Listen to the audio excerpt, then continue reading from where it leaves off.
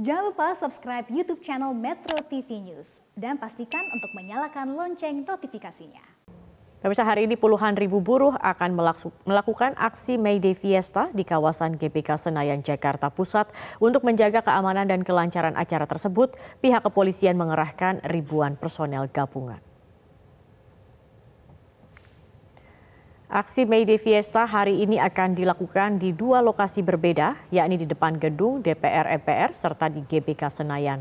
Sebanyak kurang lebih 50 ribu buruh dari seluruh daerah akan datang untuk menyuarakan pendapat.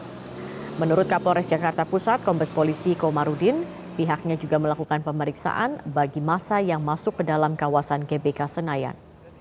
Kepolisian mengerahkan sebanyak 5.200 personel gabungan untuk mengamankan gelaran May Day Fiesta.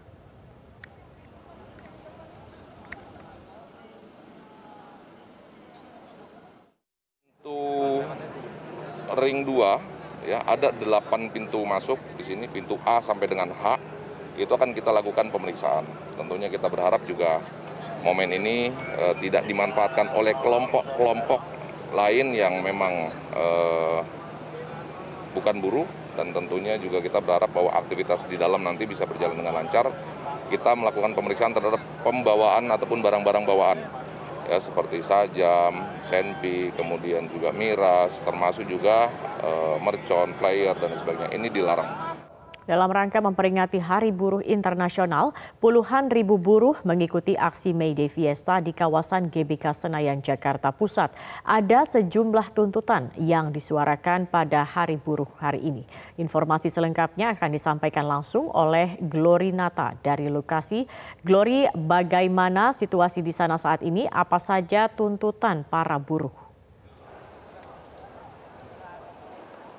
Ya benar sekali Zakia, untuk memperingati dalam rangka memperingati Hari Buruh Internasional atau May Day yang tertunda yang sebenarnya jatuh pada tanggal 1 Mei 2022 lalu, namun karena bertepatan dengan Hari Raya Idul Fitri maka di hari ini 14 Mei 2022 puluhan buruh ini ikut berpartisipasi dalam aksi May Day Fiesta yang mana uh, aksi May Day Fiesta ini dilaksanakan di dua lokasi berbeda. Tadi pukul 10 hingga nantinya pukul 12 siang orasi dan juga penyampaian tuntutan ini dilaksanakan dilaksanakan 15.000 sampai 20.000 buruh di depan gedung MPR DPR RI. Kemudian nanti dilanjutkan pukul setengah satu siang di serangkaian acara akan dilaksanakan di gedung atau stadion utama dari GBK Senayan Jakarta Pusat yang juga dihadiri 50.000 sampai 60.000 buruh. Dan dalam aksi May Day Fiesta hari ini uh, tentu saja tidak hanya serikat buruh dan juga uh, partai buruh yang hadir, namun ada beberapa pimpinan, perwakilan pimpinan dari serikat buruh asing yang turut hadir secara virtual,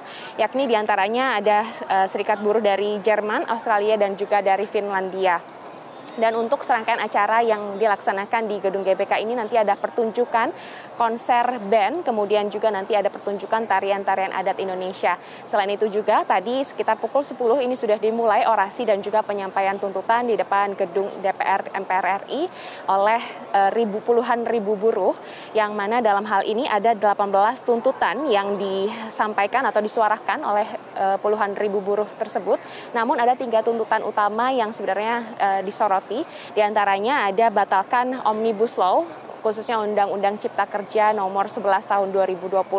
Kemudian juga para buruh meminta agar pemerintah tidak uh, melanjutkan atau melanjutkan wacana revisi Undang-Undang Serikat Pekerja Undang-Undang nomor 21 tahun 2000 dan juga yang terakhir yang ketiga ini para buruh meminta agar pemerintah dapat segera mengendalikan dan juga mengembalikan harga-harga bahan pokok yang saat ini sudah naik melambung tinggi dan secara garis besar dari acara atau perlihatan aksi May Day Fiesta 2022 hari ini harapan dari para buruh adalah agar pemerintah dapat mengabulkan tuntutan-tuntutan tersebut dan juga para e, buruh, para buruh khususnya dari partai buruh ini akan mengambil bagian da, dan juga mengambil hak politik nantinya di perlihatan pemilu 2024. Nantinya kami masih menunggu hingga pukul setengah satu siang 15.000 hingga 20.000 buruh yang tadinya sudah menyampaikan orasi dan juga menyampaikan tuntutan di depan gedung DPR RI ini akan melakukan long march atau jalan kaki menuju ke kawasan GBK Senayan Jakarta Pusat untuk mengikuti serangkaian acara di sini.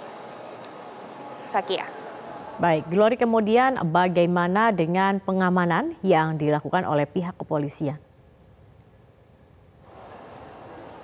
Ya Zakia, kami juga mendapatkan informasi bahwa nanti siang pukul 1 siang nanti ada kunjungan dari Kapolri yaitu Jenderal Risto Sigit untuk melihat bagaimana jalannya acara eh, serangkaian acara di gedung GBK terkait dengan aksi Day Fiesta 2022 dan tentu saja dari pihak kepolisian secara keseluruhan ini melakukan berbagai macam pengamanan eh, yang sudah digelar tadi pagi hingga siang hari ini di mana ada sekitar 5.200 personil gabungan yang diturunkan untuk menjaga keamanan dan juga kelancaran acara di hari ini tak hanya pengamanan nah dari pihak kepolisian ini juga melakukan sejumlah pemeriksaan khususnya bagi masa yang nantinya akan masuk ke gedung stadion utama dari GBK yang mana akan diperiksa barang bawaan jangan sampai ada yang membawa eh, senjata tajam ataupun senjata api dan juga miras karena ini menjadi suatu ketentuan pada saat hendak masuk ke stadion utama eh, dari GBK Senayan ini. Selain itu juga dari pihak kepolisian tak hanya melakukan pengamanan dan juga pemeriksaan namun juga akan melakukan melakukan pengalihan arus jika nantinya dibutuhkan, sehingga pihak kepolisian menghimbau kepada masyarakat agar tidak beraktivitas terlebih dahulu, khususnya olahraga di kawasan GBK Senayan dari pagi hingga sore nanti, karena adanya acara dari May Day Fiesta uh, eh, 2022. Dan tentu saja ada beberapa lokasi-lokasi yang terdampak dari acara ini, di antaranya mulai dari Jalan Gatot Subroto, kemudian Asia Afrika, hingga Simpang Semanggi dan juga Bundaran Senayan ini akan terdampak dari acara ini. Sehingga masyarakat dihimbau untuk tidak melewati jalan-jalan tersebut. Namun hingga saat ini kami mendapatkan informasi dari pihak kepolisian memang belum melakukan rekayasa atau pengalihan arus lalu lintas. Dan nantinya jika dibutuhkan baru nanti akan dialihkan arus lalu lintasnya. Dan sebagai informasi tambahan untuk aksi May Day Festa tahun ini tak hanya dilaksanakan di Jakarta saja namun juga dilaksanakan secara serempak di 80 kota zona industri di antaranya seperti Surabaya, kemudian Malang, Medan, dan juga Makassar. Sementara demikian, Zakia kembalikan. Baik, Glory Nata terima kasih atas laporan Anda. Pemirsa Dirlantas Polda Metro Jaya Kombes Polisi Sambodo mengatakan belum ada pengalihan arus lalu lintas imbas dari gelaran May Day Fiesta.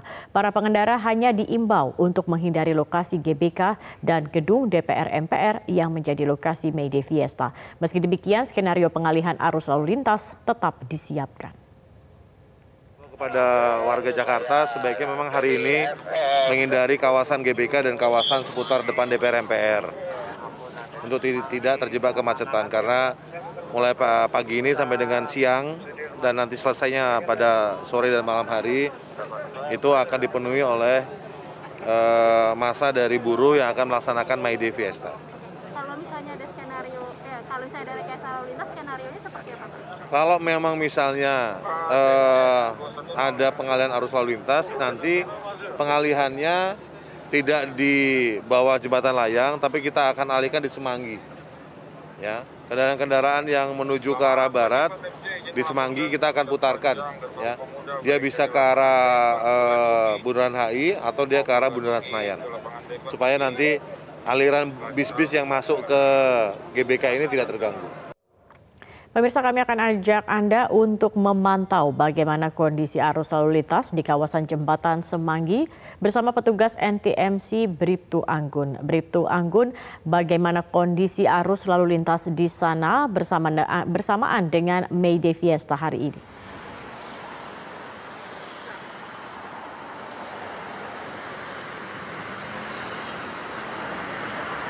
Baik, terima kasih rekan Zakia dan selamat siang pemirsa. Sehubungan dengan adanya aksi May Day Fiesta yang dilakukan di kawasan GBK dan juga gedung MPR DPR, situasi arus lalu lintas saat ini terlihat sudah mulai adanya peningkatan kendaraan, khususnya kendaraan dari arah Cawang yang akan mengarah ke Senayan, baik itu di jalur arteri maupun di tol dalam kota. Ketersendatan saat ini terlihat terjadi dan kendaraan didominasi oleh kendaraan pribadi khususnya roda 4. Dan peserta aksi May Day sudah nampak berdatangan sejak pukul 9 pagi tadi di mana kegiatan May Day Fiesta akan diawali dengan aksi di depan gedung DPR pukul 10 waktu Indonesia Barat sampai dengan 12 waktu Indonesia Barat. Kemudian dilanjutkan dengan May Day Fiesta di GBK pada pukul 13 waktu Indonesia Barat hingga 17.30 waktu Indonesia Barat. Kami menghimbau kepada seluruh warga Jakarta sebaiknya agar menghindari kawasan Senayan dan juga depan MPR DPR. Uh, seperti di kawasan Gatot Subroto, Senayan, Gerbang Pemuda, Jalan Asia Afrika, Jalan Sudirman hingga sore hari untuk menghindari penumpukan kendaraan.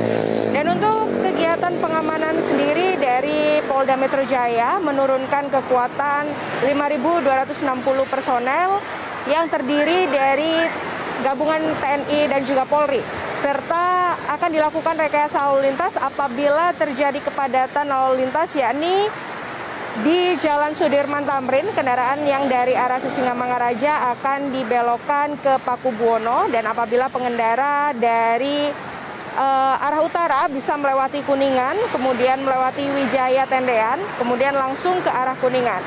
Dan untuk kendaraan dari arah Semanggi tidak boleh langsung berbelok ke arah GBK, tapi akan diarahkan untuk lurus ke depan gedung DPR MPR. Dimohon agar selalu mengikuti arahan petugas kami di lapangan serta dimohon untuk mengurangi laju kendaraan Anda bagi pengendara yang akan melakukan perjalanan menuju ke sekitar kawasan Senayan dan juga gedung MPR DPR. Dan untuk situasi arus lalu lintas di arah sebaliknya, yakni dari arah Senayan yang akan mengarah ke Cawang, masih terpantau cukup lancar saat ini, baik itu di tol dalam kota juga di jalur arteri. Demikian sementara informasi yang dapat kami sampaikan. Kembali ke studio. Baik, Briptu Anggun, terima kasih atas laporan Anda.